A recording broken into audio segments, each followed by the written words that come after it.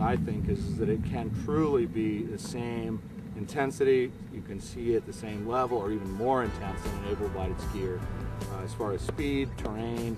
Uh, you can ski with able-bodied people, or in this case, you can ski with other people with disabilities. Um, it's it's uh, it really rips. You can ski terrain parks, uh, bump runs, steeps, uh, all of it. And so once people get the fundamentals down, they can really take it anywhere. You know, we're learning to ski, or people are learning to take their skiing from an intermediate level to maybe an upper intermediate or advanced level here.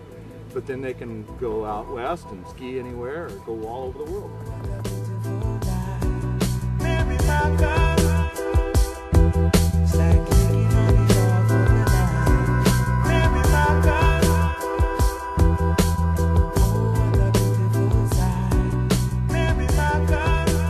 like right away when people meet me and they don't know me, they'll ask me if I play wheelchair basketball, and it's like, no. I mean, you know, they, they think that's the only thing you can do if you're in a wheelchair is play basketball, and that's the only thing I don't do.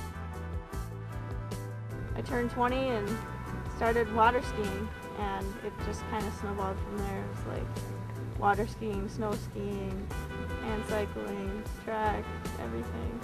Adding sports into your life makes such a huge difference on your whole attitude, your whole outlook on other people, on things that you can do, and it makes you want to go for more in life.